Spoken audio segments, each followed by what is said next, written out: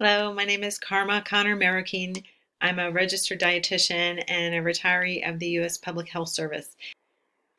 It's my retirement mission to share with the world the career path that's offered in the U.S. Public Health Service because nobody ever told me.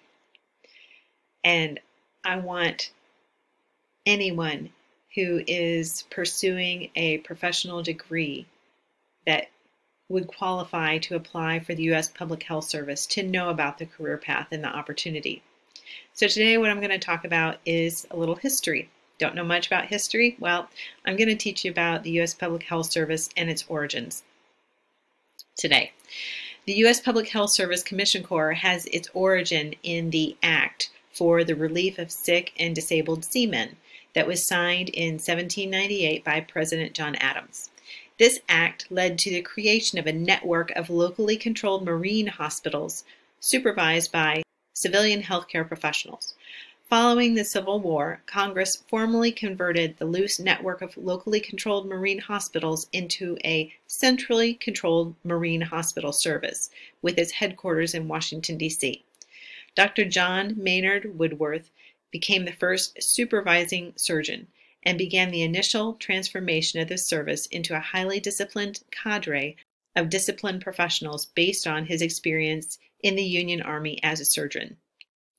On January 4, 1889, President Grover Cleveland signed an act by the 50th U.S. Congress to authorize the U.S. Public Health Service Commission Corps as a uniform service.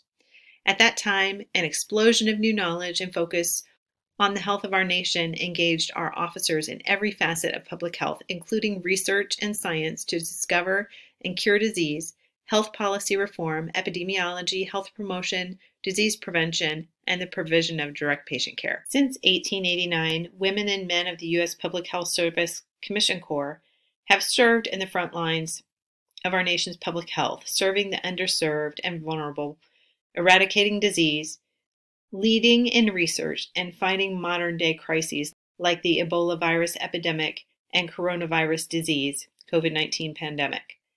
The establishment of the Commission Corps as a uniform service component of the U.S. Public Health Service, separate and distinct from the Civil Service, dates back to 1889, when President Grover Cleveland signed the Act to regulate appointments of the Marine Hospital Service of the United States.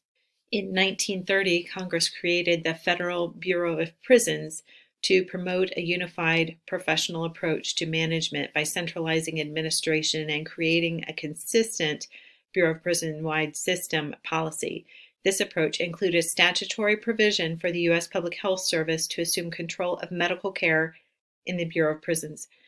At that time, approximately 50 public health service officers provided all medical and psychological care for the entire inmate population of about 13,000.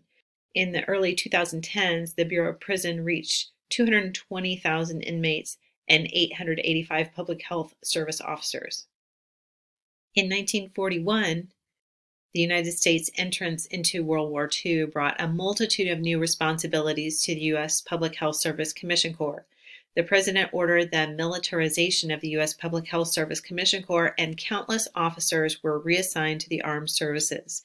These public health service officers served in combat and were detailed to the U.S. Army, U.S. Navy, U.S. Coast Guard, as well as to the military in Europe and the United National Relief and Rehabilitation Agency. Many of these officers gave their life serving in combat during World War II as would many more in the wars of Korea and Vietnam. A number of U.S. Public Health Service Commission Corps officers were killed in action.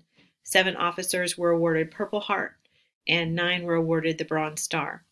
Five officers were taken as prisoners of war by the Japanese, and one was awarded the French Legion of Honor.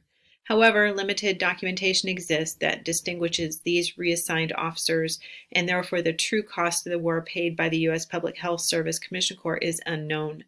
The care of injured World War II soldiers further mandated rapid expansion. Congress passed the Nurse Training Act of 1943, which created a uniformed cadet nurse corps within the U.S. Public Health Service.